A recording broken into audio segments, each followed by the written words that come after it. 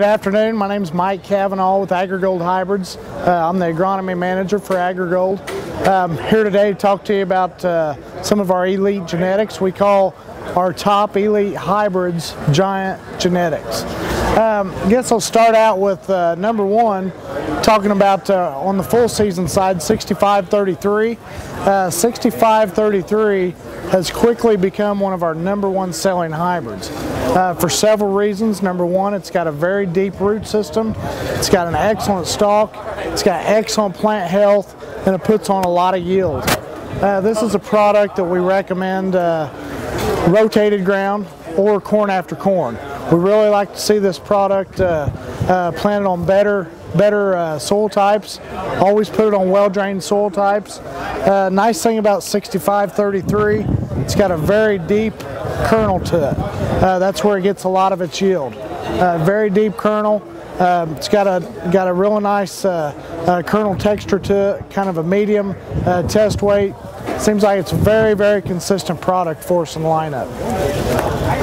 A new product uh, that we brought out uh, last year in 2009 is uh, one that just got giant status, and that's 6458. Uh, 6458 became a giant here this year because, again, of its its very high yield potential, its plant health, uh, it's very it's uh, consistency uh, across a lot of acres.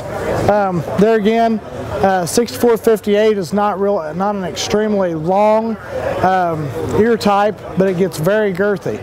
Um, we, we always see a lot of a lot of kernel depth whenever we take a look at 6458 across the board. 6458's got a lot of plant health to it. Uh, we're seeing it uh, throughout the countryside having really good Goss's wilt uh, throughout uh, a lot of these cornfields here in 2010. Uh, we recommend this one here along the I-80 corridor. 6458 goes along the I-80 cor corridor um, throughout the Corn Belt. So we're really happy with this one. Okay, on the early side, uh, we've got a 103-day product, uh, 6309. Uh, 6309 is a little bit different family. We call it a family F genetics. Family F uh, kind of stands for a little bit more test weight.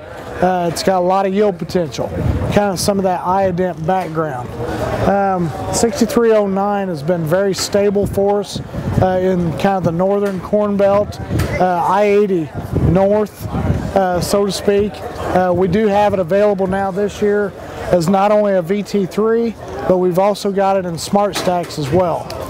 Um, here's the inside of the cob on 6309. Uh, very deep kernel, very good uh, uh kernel depth, uh, very good grain quality, very good test weight. Um, 6309 is going to go over a lot of different acres. Going to go uh, rotated ground or some corn after corn acres. So this makes up our, uh, our elite hybrids that we have to offer uh, from AgriGold. 6309 has 103 day, 6458 has 110 day, and 6533 has 113 day. These three make up uh, a giant lineup for AgriGold hybrids.